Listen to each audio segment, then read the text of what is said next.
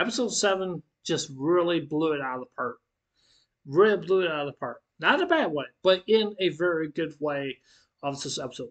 I'm not gonna lie, but this episode seven of this uh, of this of this episode, I have to say, is one of the best ones I ever seen out of this series than any other series that I'm watching right now. But this one right here is my top one. It's my it's my top one. And I have to say, if this anime keeps on going the way it's going, I'm probably going to put this in my top ten, my top ten for the anime. Maybe top five. Maybe we'll see. We'll see. But even though even though back what I said back in the this live reaction with this episode so episode seven of this anime more than a married couple, I want to say I want to say this. Okay, I believe that this anime is almost near perfect. I really do believe that it's almost near perfect. And the reason why I'm saying this, the reason I'm saying this, you guys know me. You know, I, You guys know me. You guys, you guys know me. I like ecchi. I like romance. I really do. I love both of them. When they both come together, they make such a great romantic story, and it really, really does. And I think that's just something. Is just something very important. Is basic to me. It really actually, it really actually is to me because it's personally just one of one of my favorites. You know, I'm a sucker for I'm a sucker for anything. You know, I'm, you know, I'm a sucker for etchy romance. You know, I'm, I'm a sucker for those. The reason why I just I just like them so much, it just really actually just shows less less fan service than more romance and stuff like that. That's just basically something that I really do admire. With that, some other series really do not do that. Sometimes they do, but sometimes they really don't. But even though basically this anime, it's just really, it just really is something really, really is and stuff like that.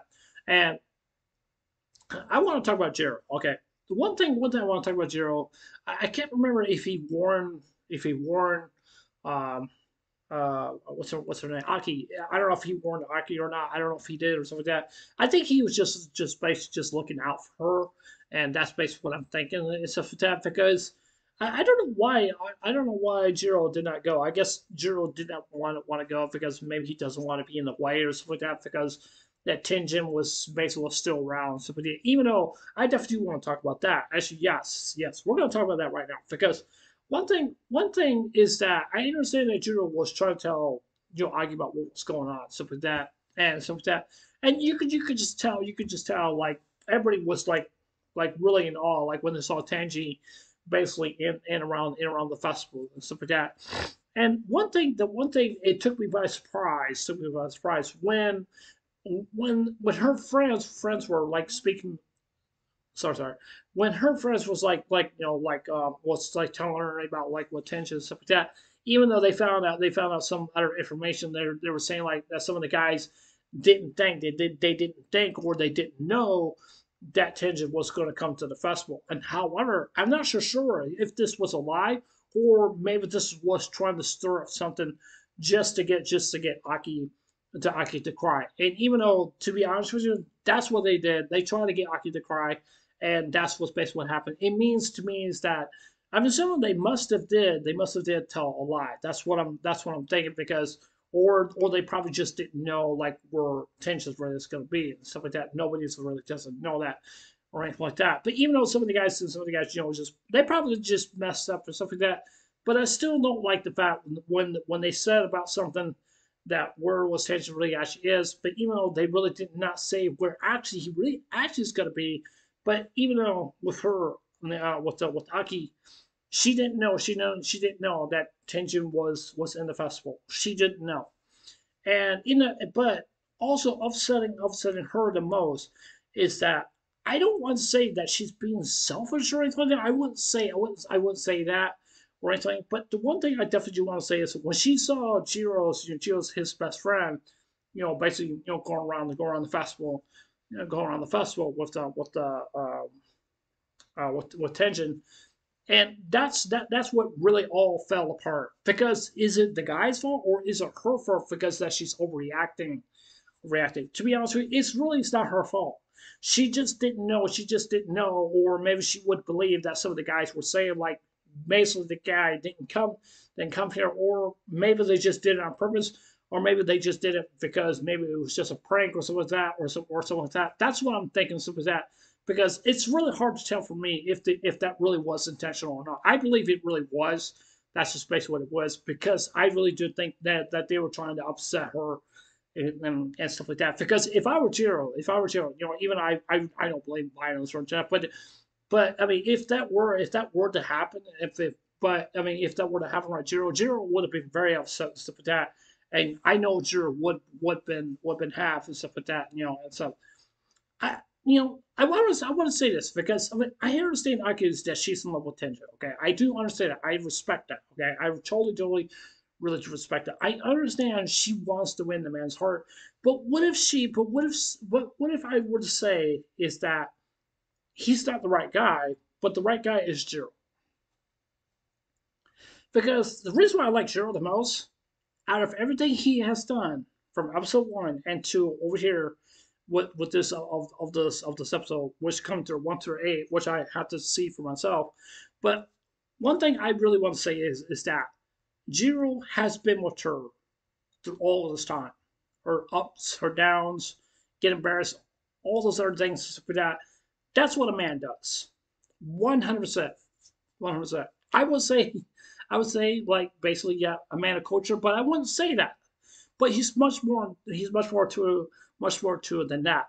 It really tells me, it just really tells me that he's being a grown up, he's being a man, he's defending her, just like, just like uh, a shining knight, you know, a shining knight, you know, that's that's basically what a knight supposed to do. It's supposed to represent his kingdom, his queen, and and, and the princess to that. And even though he will do whatever it takes just to have the princess as his bride and stuff like that, even though that's just all medieval terms and stuff like that. You know, I don't know real whole about that and everything like that. But even though the, the reason, the reason I'm saying this because that's of course that's just basically what I see basically in this anime, in this anime, and to me, and I really do think like, okay, all right, well, this is this is good. This is really actually good because even though, like I said before, when she saw like saw Tenjo was going out with um with uh, Jiro's uh, uh, friend, her friend, she got very upset. I don't blame her for being upset, and I and you know I really don't. I don't blame her for being upset and stuff like that because if that were to happen to me, yes, it would affect me. It would affect me. But even even though, even though it probably will affect even more people also as well too. And that's the reason why, that's the reason why she was like, she was on the phone, she's calling Jiro and stuff like that, even though Jiro was trying to, was trying to figure out like where she was until like she was like outside, outside. And she clinged on to Jiro and she's like sitting there, she's like bawling, crying and stuff like that and stuff like that.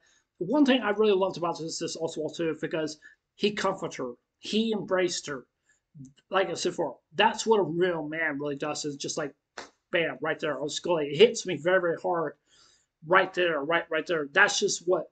That's just what a real man really does. Instead of just just being for someone, be for someone like that. You know, either as your mom, your sister, or whoever maybe is stuff like that, and stuff like that. You know, because it really hurts me just to see a girl cry. It really does. It really breaks my heart just to see that and stuff like that. You know, and you know, I I mean, sometimes it happens, sometimes it doesn't. I mean, you just never know. You just never know. You don't know the personality of a woman, what they were going to think, or anything like that. But even though, just like I said, for what Joe did right there, that's just something. That's just something. It just really just hits me very, hard. And it's just like, like, bam, yeah, that's what he's supposed to do. That's what he's supposed to do, and, and stuff. You know. But even though, like I said, for Jiro, from episode one to one through seven, or I would say eight he did the right thing, and he did.